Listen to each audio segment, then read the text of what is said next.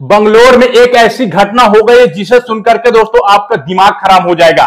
दोस्तों, आपको बता दें कि नेपाल की एक लड़की बंगलोर में रहती थी अपने पति के साथ में और उस लड़की का बंगलोर में ऐसी घटना हो गई कि फ्रिज में दोस्तों उसके उनसठ टुकड़े कर दिए गए।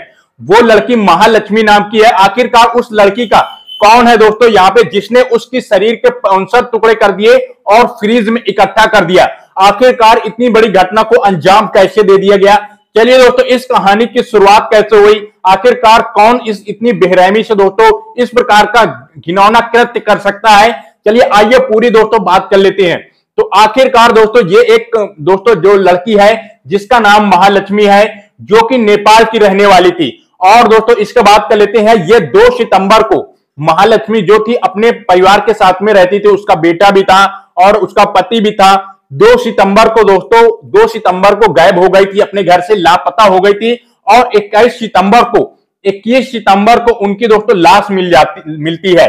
तो दोस्तों, इस बीच में जो उस उस लड़की के साथ में ऐसा क्या क्या हुआ, जो दोस्तों आज जो इस दुनिया में नहीं है।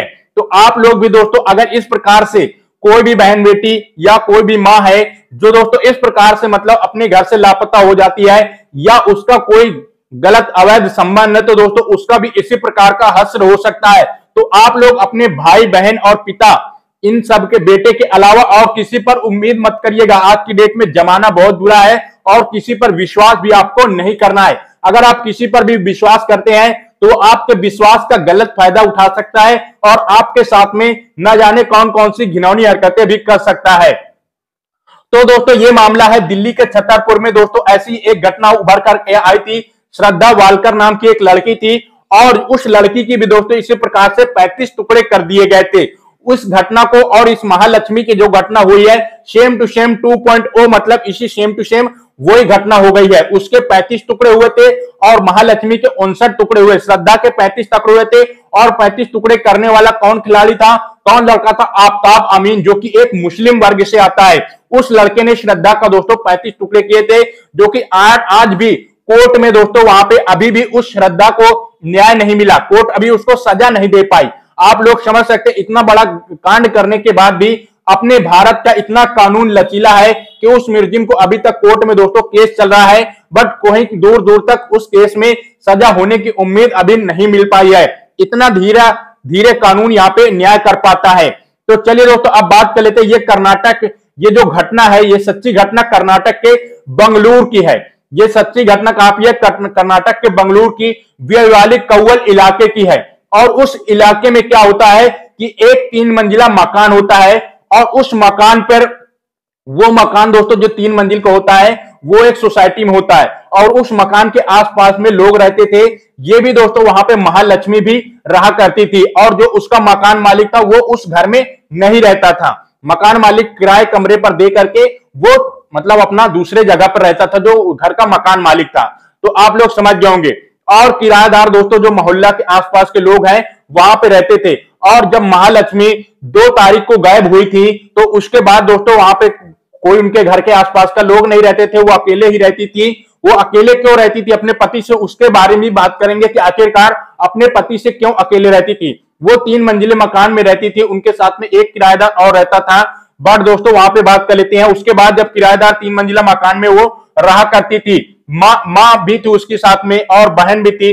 बट दोस्तों, जब आसपास में उस तीन मंजिले से आसपास के जो पड़ोस के मोहल्ले के लोग होते हैं, वो तीन तीन मंजिला मकान में दोस्तों, शुरुआत में तो लोग अंदाज़ा नहीं लगा पाते हैं, मगर बाद में जब वहाँ पे उस मकान से इतनी ज़्यादा बदबू आने लगी, इतनी ज़्यादा गंध आने लगी तो वहाँ पे लोगों को शक हुआ कि आखिरकार इस घर में ऐसी कौन सा कीड़ा मर गया है या ऐसी कौन सी दवाई रखी है जिसकी वजह से इस घर से बदबू आ रही है? लोग आसपास के निकलते थे तो नाक बंद करके निकलते थे, इतना ज़्यादा गंध मारने लगी थी। अब गंध क्या मारती थी? वो बाहर वाले को या पास पड़ोस को, किसी भी इंसान को नहीं पता था कि इस घर में क्या चीज़ है जो गंधा रहा है। तो दोस्तों, जब किराएदार मतलब वहाँ पे आसपास के पड़ोसियों को थोड़ा थोड़ा डाउट होने लगा तो उन्होंने मकान मालिक के पास फ़ोन लगा दिया। और मकान मालिक जब आता है तो मकान मालिक, उस जो तीन मंजिला मकान था, वहाँ पे ताला लटका हुआ होता है और उस ताले को कोई नहीं खोलना चाहता है। तो वहाँ पे जब मकान मालिक आता है तो मकान मालिक देखता जो एक किराएदार और था, वो तो गायब हो चुका था और यहाँ पे जब दूसरा क्या मतलब जो धीरे से वो ताला वाला तोड़ करके अंदर जाता है जब मकान मालिक तो उसके होश उड़ जाते हैं। वो जो देखता है तो दोस्तों, उसके पैरों तले की ज़मीन खिसक जाती है। घर के अंदर आँगन के आसपास में बहुत सारे कीड़े मकोड़े रेंगते होते हैं।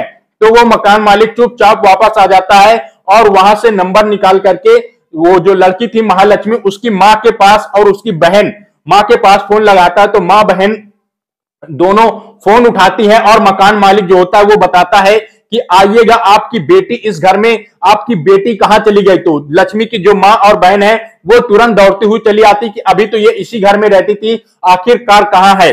और दोस्तों, मकान मालिक को डाउट हो गया था, मकान मालिक फ़ोन पर उसने कुछ नहीं बताया था कि ऐसा ऐसा मतलब यहाँ पे हम नज़ारा देख रहे हैं, या फिर ये घर में कुछ अद्भुत नज़ारा हो रहा है, जिसका दोस्तों किसी को भी उम्मीद नहीं है। तो उस घर के अंदर जब वो मकान मालिक के घर में उसकी माल महालक्ष्मी की माँ और बहन जाती है, जैसे जाती तो उनको शुरुआत में इस बात का अंदाज़ा नहीं होता कि घर के अंदर क्या होगा बट उनको धीरे धीरे बदबू आने लगती है।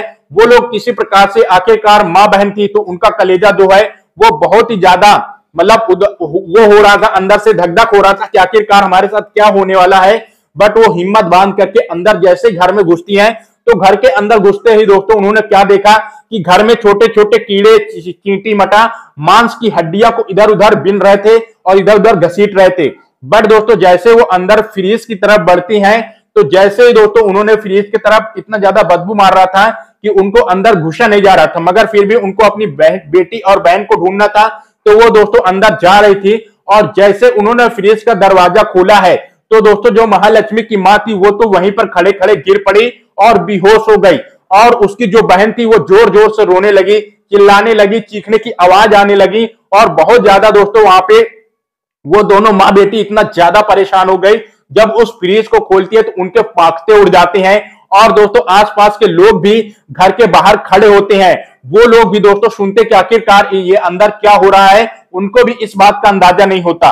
जब महालक्ष्मी की माँ और बहन दोनों घर से बाहर आती हैं, क्योंकि घर के अंदर उनसे इतनी ज़्यादा गंध आ रही थी, वहाँ पे वो रुक ही नहीं पा रही थी। तो उन्होंने घर के बाहर आया, जैसे ही दोस्तों वहाँ पे घर के बाहर आए और वहाँ पे उन्होंने देखा कि घर के इधर कोने वोने में भी टुकड़े पड़े हुए हैं। तो दोस्तों उन लोगों के होश उड़ जाते और वो घर पे बाहर आने के बाद रोने लगती हैं, खूब ज़ोर ज़ोर से माँ और बेटी, दोनों बहन।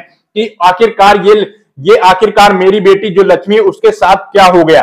तो इस बात को लेकर के दोस्तों, ये जो मुका, ये जो कांड हो रहा था, ये कांड बहुत ज़्यादा मतलब आप लोग समझ सकते हैं सनसनी खेज मामला हो गया। ये बिल्कुल श्रद्धा वालकर के जैसे जैसे उसके पैंतीस टुकड़े हो गए थे, उसी प्रकार से दोस्तों, इस लड़की के भी उनसठ टुकड़े हो गए। तो वहाँ पे मकान मालिक और उनकी जो माँ बहन थी, महालक्ष्मी की, उन्होंने पुलिस वालों को फ़ोन कर दिया। और वहाँ पे पुलिस आती है। पुलिस जैसे घर में एंट्री मारती, पुलिस भी घुसना नहीं चाहती थी और पुलिस से दोस्तों उसके अंदर जाया भी नहीं जा रहा था, इतना ज़्यादा बदबू मार रहा था। तो पुलिस वालों ने क्या किया दोस्तों, वहाँ पर पोस्टमार्टम वालों को फ़ोन कर दिया और पोस्टमार्टम वाली पूरी एंबुलेंस आ जाती है और पोस्टमार्टम वाले एक एक हड्डी जो घर में पड़ी होती है या फ्रिज में जितने भी दोस्तों ऊपर पार्ट में मोड़ रखा हुआ था, बीच में दोस्तों हाथ पाँव भी और भी बहुत सारे टुकड़े रखे थे जो कि पूरे फ्रिज में पूरा लबालब भरी हुई थी ब्लड से भी। और दोस्तों, उसमें आकर के पोस्टमार्टम वाले उसके एक एक बोटी को उठाते हैं और वो पोस्टमार्टम के लिए दोस्तों पूरी जो बॉडी के पार्ट्स होते हैं, उसको लेकर के चले जाते हैं।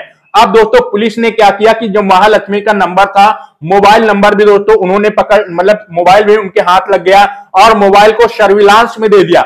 और उसमें ट्रैक किया गया कि आखिरकार ये किस किस से बात हो रही है।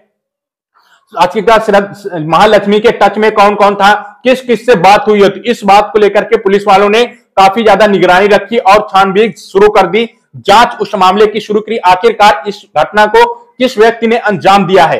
तो दोस्तों, अब आगे बात बढ़ती है। जब पुलिस वालों से, पुलिस वालों ने काफ़ी ज़्यादा यहाँ पे हंगामा शुरू कर दिया तो ये मामला दोस्तों, जैसे पुलिस यहाँ पे पोस्टमार्टम के लिए भेजती तो उसके बाद ये मामला जो है, महालक्ष्मी उनतीस साल की होती थी और ये नेपाल में रहने वाली थी। और दोस्तों, इसके पति का नाम क्या था? इसके पति का नाम था हेमंत दास।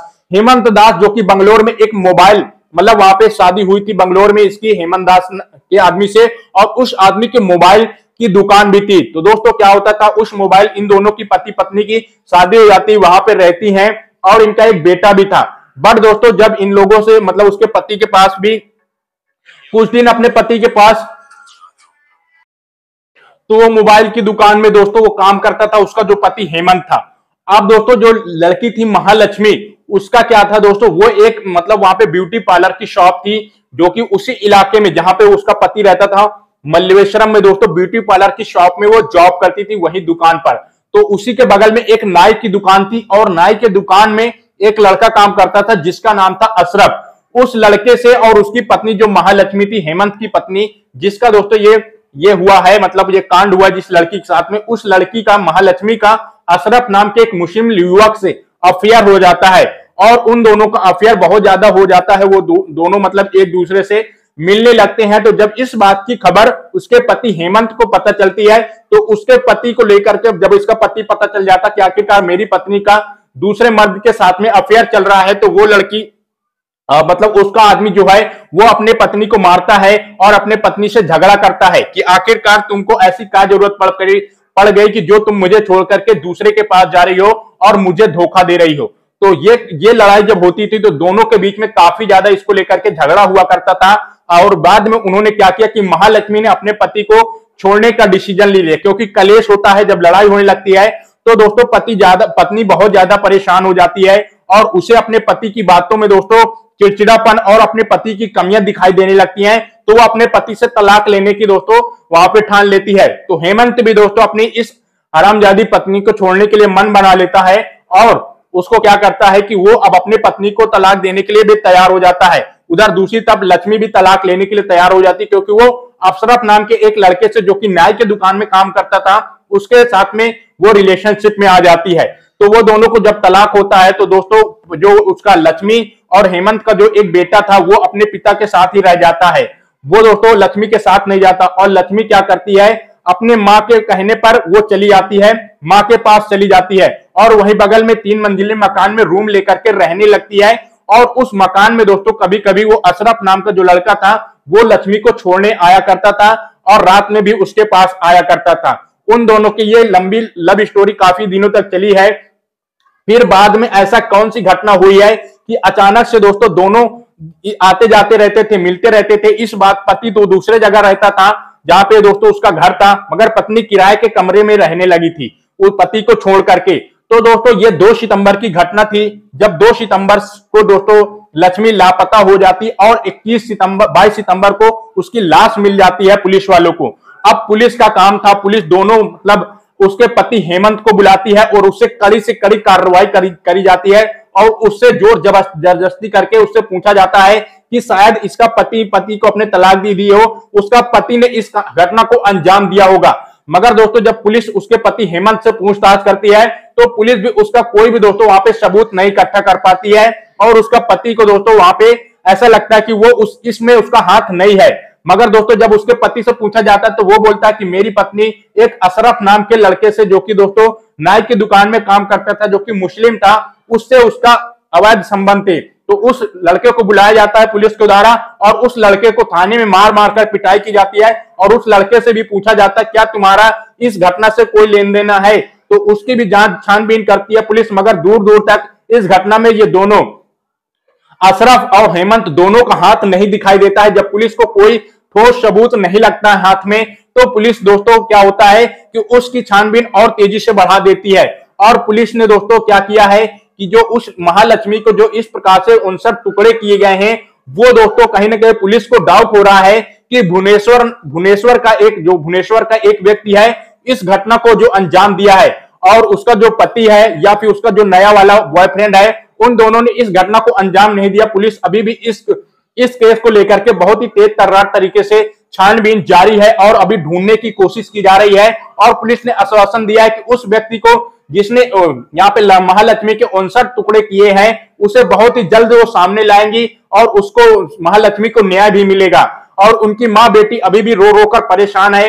बंगलोर की ये सच्ची घटना, दोस्तों, आप लोग इसमें क्या सीखे? आखिरकार, दोस्तों, समाज में बहुत सारे ऐसे लोग आ चुके हैं, ऐसे राक्षस आ चुके हैं, जो आज की डेट में किसी भी, किसी की बहन बेटी के साथ में कुछ भी करने के लिए वो उतारू हो जाते हैं। आप लोग सावधान रहिएगा और किसी के भी आत्मा को या किसी की भावनाओं को ठेस पहुँचाने का मेरा मकसद नहीं है। सिर्फ़ कहानी सुनाने का ये मकसद है कि आप लोग दोस्तों सतर्क हो जाएँ कि किसी भी ऐसे अनजान आदमी के चंगुल में नहीं फंसना, वो आपके जीवन से भी दोस्तों खेल सकता है। तो दोस्तों, आपको इस वीडियो में क्या अच्छा लगा और आप लोग कहाँ से वीडियो देख रहे हैं, इस वीडियो में कमेंट कर दीजिएगा ताकि हम आपको अगले वीडियो में आपका नाम ले सकें और आप इस नाम लेते हुए हमें बहुत ज़्यादा खुशी होगी। और चैनल को भी सब्सक्राइब कर लीजिएगा, वीडियो को लाइक कर दीजिएगा और शेयर कर दीजिएगा। मिलते फिर आपको अगले वीडियो में। तब तक के लिए आप सभी का बहुत बहुत शुक्रिया। धन्यवाद। नमस्कार।